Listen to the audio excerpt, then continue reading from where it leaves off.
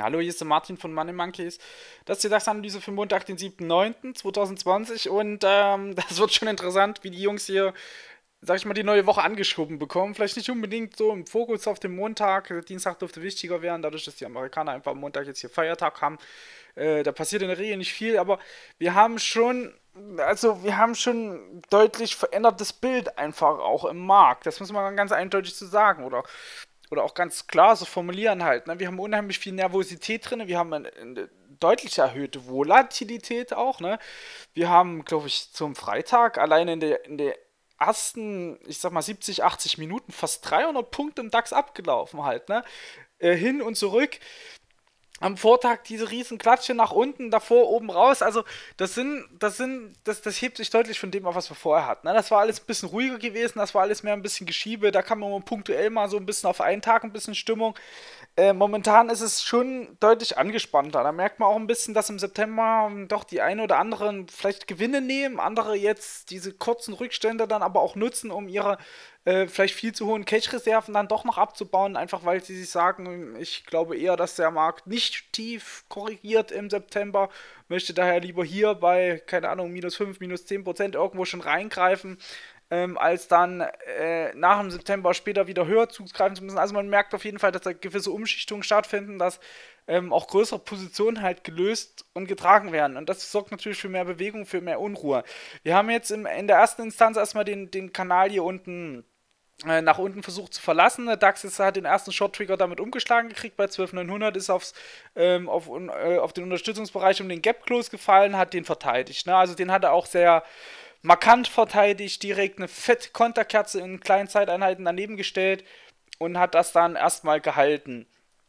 Ähm, über den ganzen Tag eigentlich auch. Hinten raus hat es dann ein bisschen hochgezogen. Die Amerikaner waren da recht gut, waren da recht optimistisch reingestartet. Ähm, jetzt haben wir die Sache mit dem Feiertag zum Montag. Ähm, wir haben Dienstag. Dienstag macht gern so ein Turnaround. Ich könnte mir daher schon fast vorstellen, dass wir vielleicht etwas schwächer reinstarten, uns dann aber so Stück für Stück ein bisschen weiter nach oben schieben und hier nochmal an der Keilkante hochsteigen. Äh, nicht Keilkante, Entschuldigung, an dem an dem, an dem Channel einfach ein bisschen hochsteigen, vielleicht versuchen hier noch so ein ähm, letztendlich ja, eine, eine Korrekturbewegung von der Abwärtsbewegung reinzubauen. Das könnte dann ungefähr so aussehen, dass sich der Markt dann durchaus von hier auch nochmal versucht, so in den Bereich hier drüben reinzuarbeiten, in den Bereich um 13.175, vielleicht sogar in den Bereich um 13.200. Ähm, das, wäre, das wäre jetzt nicht untypisch, um von dort dann gegebenenfalls nochmal einen Ausbruch zu riskieren. Ansonsten bleibt oben drüber weiter die 320 auch super wichtig. Wenn es den DAX zum Beispiel direkt bei Aufwärtsgap rausschlägt, ähm, dann wird er auch in dem Bereich hier oben reagieren. Das glaube ich schon so 1,75, 200, das ist interessant. Und darüber dann aber auch ähm, hier halt ordentlich was auf die 12 kriegen. Ne? Also wenn er zum Montag gut rausstartet. Und zum Montag gut rausstarten, das hat er ja die letzten Wochen immer mal, außer letzte Woche. Letzte Woche war, glaube ich, der erste Tag, wo wir gesagt haben, äh, Mensch, äh, irgendwie was anderes gewesen. Wo war das hier? Das war der Montag, ne? Das war die erste Wocheneröffnung, das erste Mal seit mehreren Wochen, dass der Markt zum Montag negativ war, ne? Er ist früh kurz nach oben gezogen und dann nach unten weggeklallt worden. Ähm, das haben wir die ganzen Wochen letzten, letztendlich nicht so gesehen und wir haben die Woche tatsächlich auch mal tiefer geschlossen. Ne? Es ist jetzt die erste, äh, es ist, man muss sogar sagen, es ist eine Umkehrkerze im Wochenchart und das auch bei, auch bei ganz vielen Einzelaktien ähm, bei anderen Indizes, das ist schon, wir haben schon unten Risiko diese Woche, das muss man ganz klar sagen. Ob das zum Montag schon so tragend werden kann mit dem US-Feiertag, wahrscheinlich eher nicht. Ähm, auch wenn man es auf dem Radar haben sollte und insbesondere unter der 13.000 halt, ähm, insbesondere unter 12.900 muss man schon punktuell mit einer Annäherung an, ich sag mal 12,640, 12,700 muss man schon noch mal rechnen. Also auch, dass das Tief dann untergraben wird. Ja, da muss man ein bisschen auf, äh, wie, wie man die letzten Tage immer wieder gesagt haben, ein bisschen auf Sicht fahren halt, ne? Äh, wenn der Markt hier zu Schwäche neigt, ähm, hat er deutlich nach unten Auslaufpotenzial. Und das, das wirklich, wirklich auch größere halt. Ne? Kann dann hier unten auch mehr Bewegung rauslösen. Sie sehen das hier, das ist eine gute Unterstützung um die 640 rum. Wenn das dann da nicht hält, halt hier der Bereich, ich sag mal um 12600, ähm, dann klappen halt nach unten auch ganz neue Dimensionen dann auf halt. Ne? Also das, das, das wird dann auch immer schneller da unten der Markt. Das ist ja letztendlich wie in jedem Trend, wo eine Beschleunigung irgendwann dann einfach einsetzen kann. Also, das sind so die Punkte, wo ich sagen würde, Äh, das ist mir jetzt wichtig. Zum Montag erwarte ich nicht ganz so viel einfach. Ähm, feiertagsbedingt könnten wir vorstellen, dass wir halt einfach bloß so ein bisschen rumhampeln und wieder zurechtgeschoben werden. So ein bisschen ähm, so nach dem Motto, ich versuch's mal unten, ich versuch's mal oben. Ach nee, ich stelle fest, die Amerikaner sind heute nicht da, also lass ich es einfach. Ähm, sowas könnte ich mir vorstellen zum Montag. Halt, dass man einfach nochmal einen Doji daneben setzt, ähm, die 13.000 vielleicht nochmal anspielt. Vielleicht auch nochmal versucht, hier oben ein bisschen so drüber zu kommen. Die 1365 war eine gute Bastion gewesen zum, zum Freitag schon. Ich glaube, wenn er die überwunden bekommt, wenn er sich darüber etabliert bekommt, bekommt er auch wieder ein bisschen mehr Erholungsspielraum. Gerade so die Bereiche um 13.220, 13.320 sind schon drin. Und ansonsten wäre meine Erwartungshaltung tatsächlich, dass wir ähm, aufgrund dieser Umkehrsignale im Wochenchart ähm, die wir über mehrere Indizes und mehrere Aktien haben und auch mehrere größere Aktien, die halt auch ein bisschen was bewegen können. Ähm, vielleicht, also dass wir, dass wir nochmal tiefere Tiefs sehen als zur Vorwoche.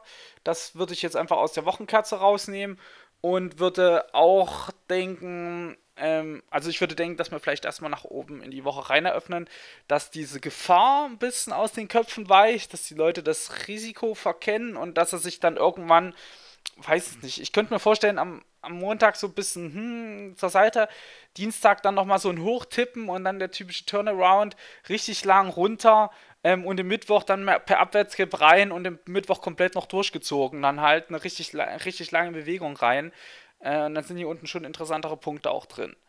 Na, das wäre jetzt so meine Erwartungshaltung, von daher erstmal vielleicht einen leicht positiveren Wochenauftakt ähm, und dann Schwäche herein. Also meine Erwartungshaltung wäre schon, dass wir zum zum, zum, in der, in der kommenden Woche auch das Tief hier nochmal vielleicht sogar untergraben halt. Das würde ich schon, das würde ich schon erwarten jetzt.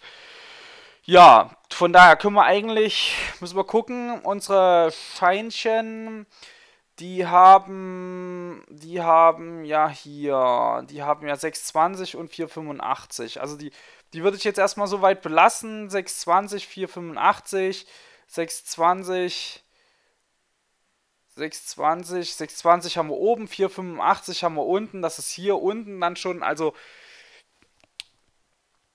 das ist, ich glaube, das ist noch okay, auch wenn ich nach wie vor, ich würde die, also man sollte die Scheine nicht gegen sich großartig laufen lassen halt, ne? ich würde sie wirklich benutzen, um die Bewegung nach oben zu nehmen. Ich würde jetzt mit diesem K.O. hier unten, äh, würde ich mich jetzt nicht reinstellen am, am Früh und sagen, okay, ich, das ist jetzt mein Risiko, was ich bereit bin zu geben und ich nutze den jetzt nach oben. Ich würde den Schein schon abwirken, wenn da zu viel Schwäche reinkommt halt, ne? Ähm, dann einfach mal raus. Das sind Schrecken, die sollte man eher versuchen auf der Short-Seite mitzunehmen und nicht auf der Long-Seite. Ähm, aber wenn er dann eine Umkehr bringt, wenn man zum Beispiel sieht, okay, der läuft jetzt hier nochmal auf die 12900, kriegt es halt einfach nicht gebraten, dreht sich wieder nach oben auf, macht eine schöne grüne Stundenkerze, dann wäre das so ein Moment, wo ich dann halt einfach ähm, den, den entsprechenden Long-K.O. dort kaufen würde, ähm, den Karl, und dann den Stop-Loss drunter packen würde unter so eine, unter so eine Stundenkerze und dann halt einfach mal probieren würde, wie weit kommt er denn hoch halt, ne? Vielleicht hier oben einen Teilverkauf raus, den Rest probieren bis hier.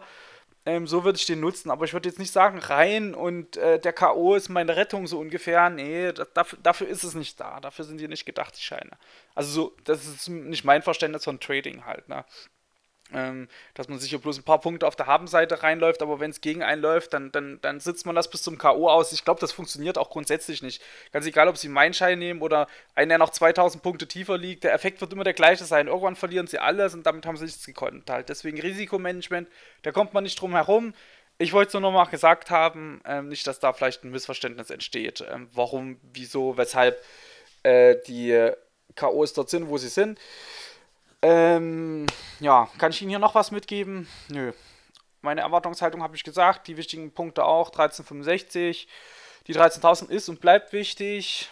Ähm, und ansonsten unterhalb die 900 wird wichtiger. Immer mehr. Ähm, auch der Bereich hier um, um das letzte Tief hier, ne, um diese, was ist das, 8, 850. Da sehen Sie, wie er hier versucht hat, die Close-Kurse darüber zu halten. Also das scheint ihm sehr wichtig zu sein. Vielleicht ist das der mögliche Tiefpunkt 90, ähm, 12.900 bis 12.850 und dann nochmal ein Versuch nach oben. Na, hier oben am Hoch müssen wir ein bisschen aufpassen, ein neues Hoch, wenn das kommt. Das reagiert bestimmt nach unten so spitz wie der hier, so spitz wie die, die erste Erholung hier weggedreht wurde. Also da müssen wir ein bisschen aufpassen. Und ja, Erwartungshaltung geht langsam Richtung abwärts. Ähm, müssen wir gucken, wie der Tageschart aussieht. Aber hier die untere Keilkante halt, ne? Das wäre, das wäre schon noch was, was, sag ich mal, möglich und erreichbar ist halt, ne? So, und wenn wir die halt reißen, das sehen Sie dann auch hier aus der Ebene, ähm, das, das, das meinte ich vorhin, dann gehen auch ganz andere Dimensionen auf halt, ne? Dann werden die 200-Tage-Linien halt als spruchreif, ne? Im Bereich um 12.200, 12.100. Ähm, das denke ich dann schon. Haben, hätten dann noch einen super Trend bei 12.450 rum, der da ein bisschen stänkern, zwischenstänkern kann.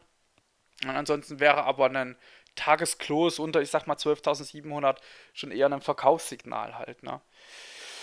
Ja, gut. Ansonsten, was können wir hier noch mitnehmen? Grüne Tageskerze über 13.065 sollte man mit Respekt entgegnen. Das, ne, also da, da muss man schon aufpassen, weil auf den kleinen Zeiteinheiten wirkt es dann wie Erholung und ich schmeiß mich wieder weg, aber von oben raus, also der hat halt mit dem Tageschart noch nicht viel gekonnt hier halt, ne? Müsste ja unter das Tief drunter, damit er das, oder den Keim brechen. Aber ich meine, wenn jetzt hier eine grüne Tageskerze dahinter kommt, bis 13100, 1365, dann kann der an einem Tag wieder hier hochspringen.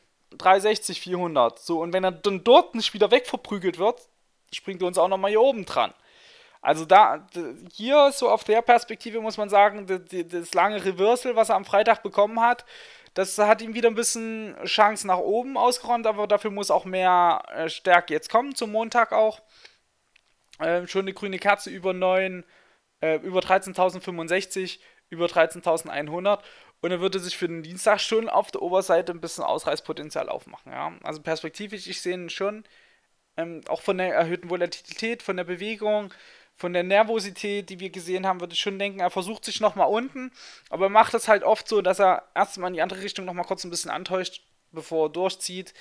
Und das wird dann ein schmaler Grad hier, wenn der Montag jetzt grün wird halt. Es wird ein echt schmaler Grad. Also es wäre fast sogar schon typisch einen DAX, weil er es damit komplizierter macht halt, ne? Macht es ja selten einfach. Macht es immer schön so, dass alle genug Zweifel haben, dass irgendwas dann doch nicht klappt. Gut, ja. Also, ich habe ein relativ klares Bild dennoch vor Augen. Ja, das geht so in die Richtung, die wir hier haben. Das wäre meine Erwartungshaltung. Vielleicht kurz nach unten dippen. Dann, ähm, ausgeprägteren Rücklauf bis durchaus in den Dienstag rein und zurück. Sollte der Markt aber deutlich Schwäche zeigen, sollte der Markt zeigen, puh, hier kommt nichts rein, da will keiner mehr kaufen, dann Short. Ja, dann muss, muss man da versuchen, was mit Short mitzunehmen halt. Ne? Sonst steht er irgendwann zu weit unten und ähm, dann kommt die Erkenntnis zu spät. Das ist einfach so. Ja, mehr kann ich nicht mitgeben. Dann würde ich jetzt hier das Video zumachen. Ihnen viel Erfolg zum Wochenauftakt wünschen, gutes Gelingen und dann hören wir uns morgen wieder. Bis dahin, tschüss.